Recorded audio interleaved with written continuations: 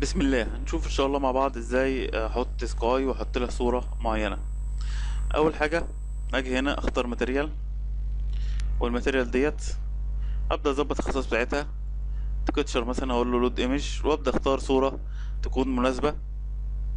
تمام؟ بالشكل دوت. خلاص دي بقت الصورة معايا.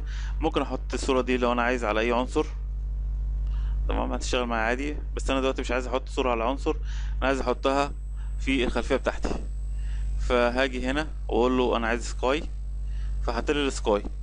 هبدأ أسحب الصورة أحطها على ال sky خلاص. كده لما أجي أبص ألاقي الخلفية خلاص ظهرت معايا. تمام؟